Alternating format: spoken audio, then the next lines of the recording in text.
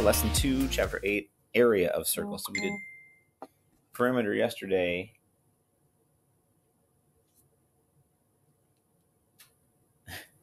um, perimeter yesterday. Now today we're doing area of circles. So let's take a look. Look, there's a dog on a leash. So area of circle is not just how far does the dog travel, but how much area is in here. I always say it's like if you have a circle and you're putting carpeting inside the circle, how much carpeting do you need? That is the area. So, you know, if we were doing a um, a rectangle, this would be the length times width, but you can't do length times width with a circle. So let's see what's going on. So looking at area of a circle. Uh, this video actually I'm redoing because I lost part of it. So hopefully this all makes sense if I put it in the right order. So area of a circle, finding out that carpeting for where the dog is, is the pi, our good friend pi, times the radius squared. Remember circumference? That's just pi times diameter, the whole way across. For radius or for area, it's pi times radius squared. So it still uses pi, but then you have to take just the radius and square it. And, you know, so if our radius was 3, you have to square that, which will be 9, not 6, 9. So it would be pi times 9. Again, if you have the, the pi button on your calculator, that calculator, that will help get it exactly. Um, you know, and just looking at it, you know, pi is a little over 3. So, you know, 3 times 9 would be 27. So that would be, you know, a little over 27. That's why pi is nice. It gives you the exact number. All right, let's keep going down here and see if there's anything else interesting here to talk about. And I know they're going to try to trick you a little bit. They're going to try to, you know, give you the diameter and not the radius, see if you can pay attention with that. So,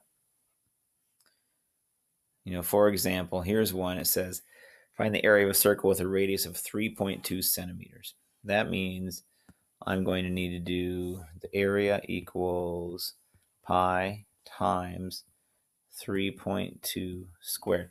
So now if I use my calculator and and I do 3.2 squared, that's about 10.24 then I multiply that times the pi button and I get 32, 32.17. And those would all be, everything with area is squared. So it'd be centimeters squared, 32.17 centimeters squared. Now I want to take you over and have you look at the assignment, um, the beginning part that got missed in my other video. So let me pause and we'll be. So area equals pi r squared. So then if you have a semicircle, you have to cut it in half. So basically it's pi r squared divided by 2. Uh, I think that should be pretty straightforward that if you're talking about the area of half the circle, just do pi r squared and then cut it in half. All right. Let's see if I can go to the next page without getting cut off again. So they'll talk about if it's radius or diameter. Just make sure you know what you're doing. So this one, 9, 10, 11 says semicircle. So again, you got to make sure you're using the radius. And these two are both the radius. This one, they're showing you diameter. So, um, you know, here's the thought for you. See if this makes sense. Because for a semicircle, you know, we do the pi r squared and then we cut it in half. But like for number nine, you have pi, if the radius is 12, and you're going to square that, um, you know, and then just divide it by 2 when you're all done. So do that's 144. So like for example, what you could do is I know that this is 144. That 12 squared, 12 times 12 is 144. Before I multiply by pi, I could just cut the 144 in half. I could do the division right now and I believe that's 72. So instead of doing anything and then dividing by 2, I just do that right now and do pi times 72, and I have my answer. There it is. So you are going to do uh, everything on page 12. Not page 12. 1 through 12 on page 627. Um, on 628,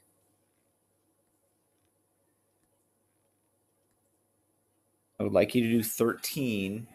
Now, this one is talking about pizza, and they want to know which one is the better deal based on the area of the pizza.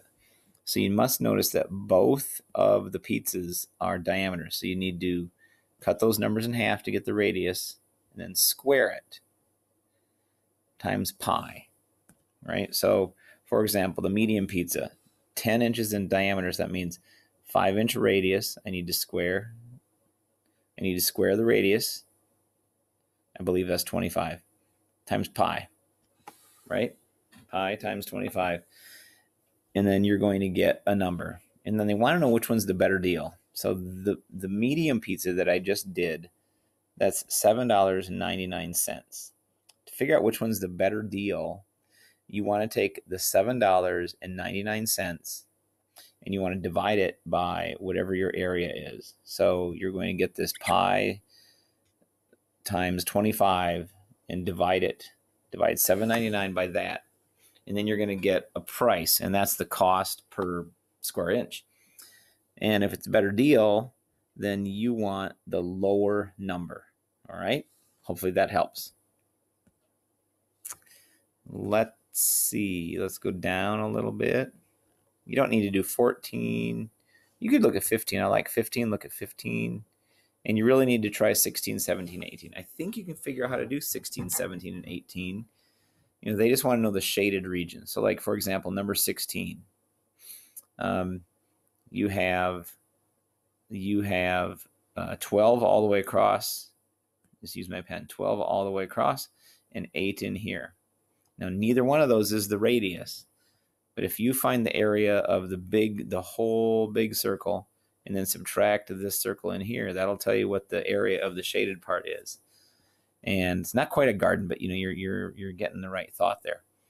So first, I'd have to say, well, this is a this one here. The little one is a radius of four. The big one is a radius of six. So then you do pi r pi you know pi six squared pi 4 squared, and you take those and subtract them, see what you get, and you have the area. That's pretty much a way to do the other two also on that. So there you go.